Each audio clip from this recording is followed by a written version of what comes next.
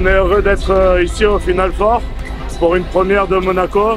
Et maintenant, il va falloir aller chercher la, troisième place. C'est un très bel événement. Donc merci aux boys de Monaco et on est derrière vous. hein. Allez pour la troisième place.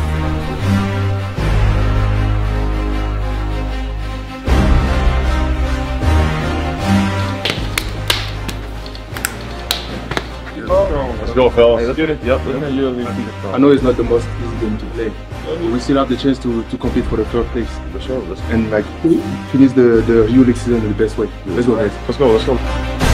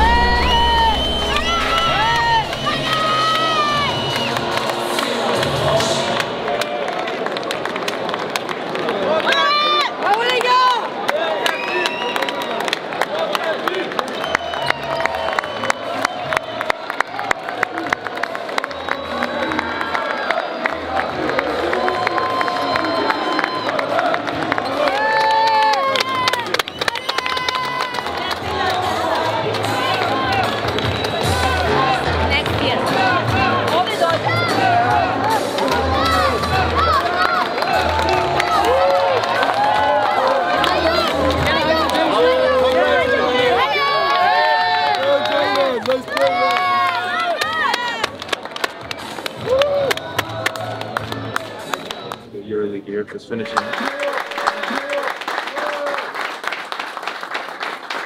Great job, guys. Thank you. Thank you all for the amazing season. You know, we're going to be better. Let's go. Animo, let's go, guys. Yeah. Tá, tá, tá. Ficou.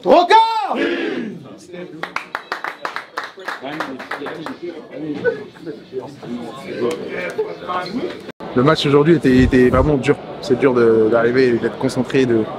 Mais il faut, quand même arriver à, garder la face et, donner euh, ce qu'on pouvait donner à ce moment-là. Parce que c'est le dernier match d'Euroleague et voilà, on voulait finir la, la saison d'Euroleague sur une bonne note.